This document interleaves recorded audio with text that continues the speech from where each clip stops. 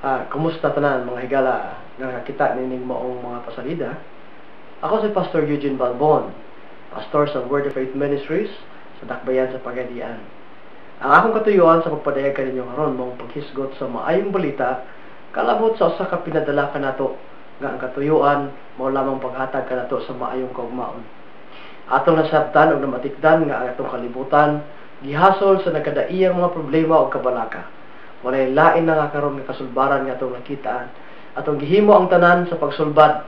Pinagi sa kwarta reliyon o unsa pa apan walay katagbawan. O atong nakaplagan lamang ang tinuod nga katagbawan pinagi kang Kristo Jesus sa pagpanumbalik ngadto kaniya.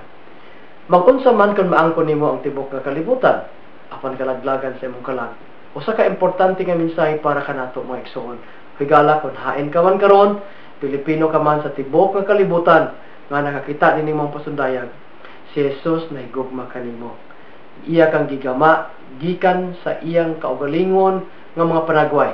Giumol ka sa iyang kaugalingon nga tinguha. Kay ang iyang maong katuyuan nga ikaw magapanumbalik sa pag-ila pagpasalamat o pagdaig sa ngalan ni Jesus. Juan 3.16 nag-ingon gihigugma sa Dios ang kalibutan sa pamaagi nga iyang gipadala ang iyang bugtong anak nga si Jesus. Aron sa bisan kinsang musalig ug motuo kaniya dili na siya masalaag dili siya malaglag kundi makabaton sa kinabuhi nga walay katapusan. Ang atong gikinahanglan karon dili lamang ang atong mga pagpaningkamot kundi ang pag-ila sa kamatayon ni Ginoong sa Kristo sa krus sa Kalbaryo.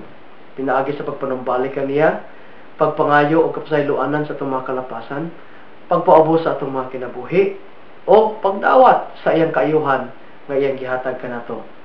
Si Jesus mahigugma kanatong tanan.